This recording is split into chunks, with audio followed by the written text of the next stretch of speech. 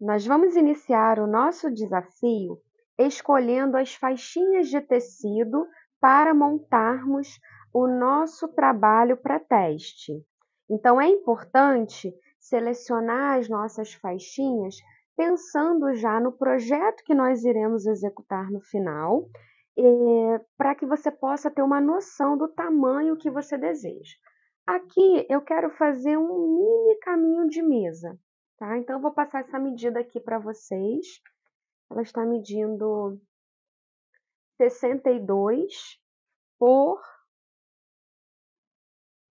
34.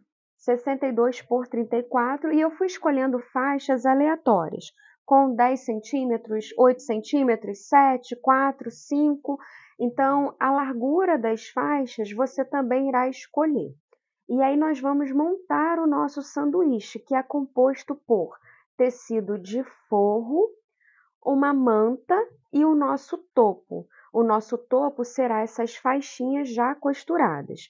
Então, a nossa atividade de hoje é separar os nossos retalhos de tecido, costurar as nossas faixas. A minha margem de costura aqui foi de 0,75 você pode escolher trabalhar com meio centímetro, porém eu prefiro trabalhar com a margem de costura de 0,75. Então, uni as faixas, costurei e vou montar o sanduíche.